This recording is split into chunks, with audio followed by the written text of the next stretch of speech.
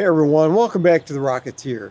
Today I interviewed Bryce at LDRS 41 and he's going to tell us all about his 14 and a half foot, 200 pound rocket called Sasquatch.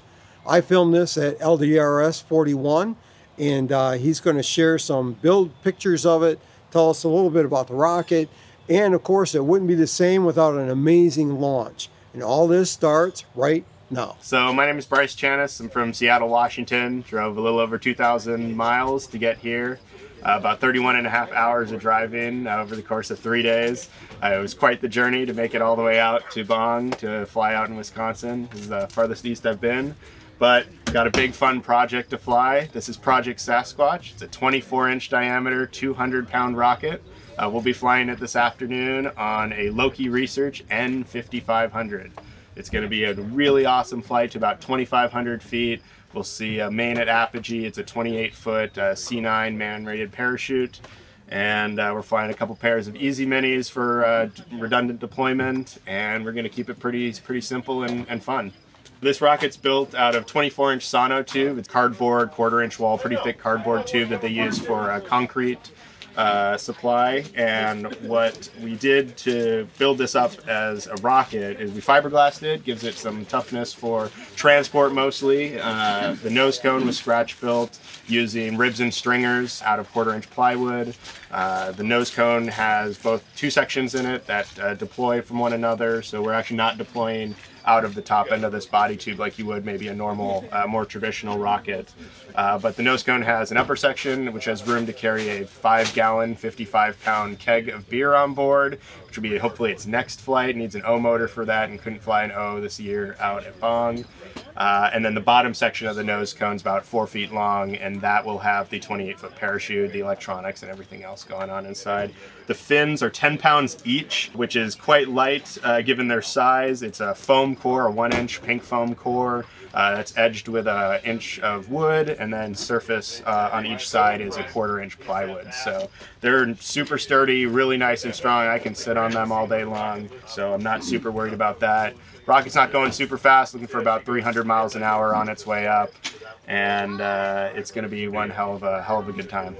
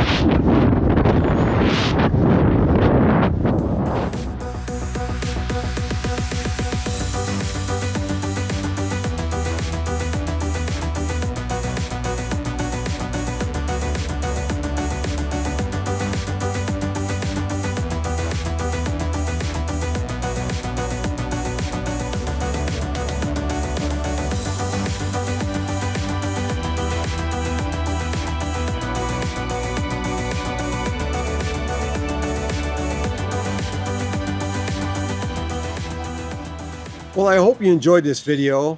If you'd like to contribute to the project, please consider buying me a coffee or using that YouTube thanks button down below. It took a lot of work.